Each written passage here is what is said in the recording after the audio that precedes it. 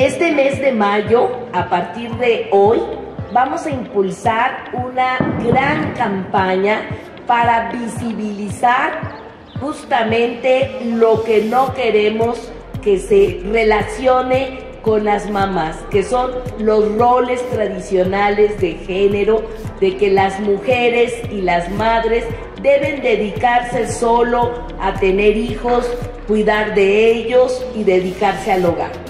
Se ha demostrado que eso no puede ser, que las mujeres deben tener las mismas condiciones sociales y luchamos por la igualdad. Así que en Iztapalapa vamos a impulsar una campaña todo el mes de mayo contra estos roles de género impuestos a las mamás.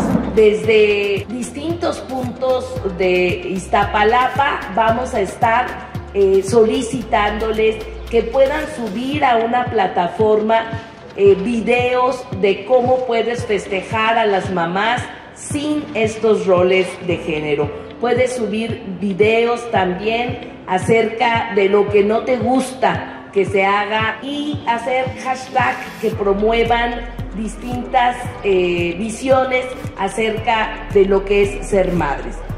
Nosotros quisiéramos que el 10 de mayo no fuera un día en el que solo ese día nos preocupáramos por las mamás y les lleváramos de regalo un aparato electrodoméstico para seguir reproduciendo los roles de género. Quisiéramos que el 10 de mayo, el mes de mayo y todos los días pudiéramos regalarle a las mamás una forma diferente de vivir la maternidad. Es decir, que los niños, las niñas y el trabajo del hogar sean compartido entre todos. Y que como parte de esa lucha que estamos dando, que el 10 de mayo convoquemos a un paro, a un paro de las labores tradicionales de las mamás que estamos combatiendo. Por eso yo digo hashtag paro 10 de mayo. Nosotras decimos el hashtag trabajo doméstico compartido. Hashtag educar sin estereotipos. Hashtag maternidad libre. Hashtag mayo sin electrodomésticos. Únete a esta gran campaña.